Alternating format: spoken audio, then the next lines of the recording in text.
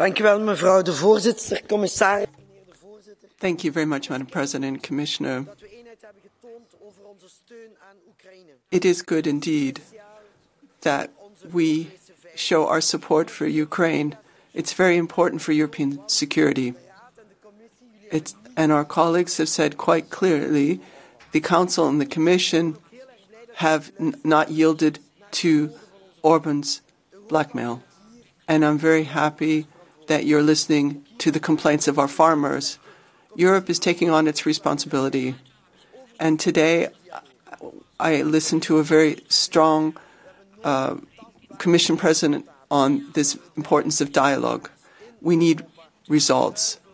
Every day in Europe, a thousand farmers are disappearing. Every day. Our Belgian Prime Minister Alexander De Croo listened to the farmers, and he said um, uh, during the Belgian presidency, we're going to adopt a 10 point plan in order to reduce the bureaucratic burden on farmers. Madam, we need to have an assessment made on all of new legislation for the farmers, see the impact on the farmers.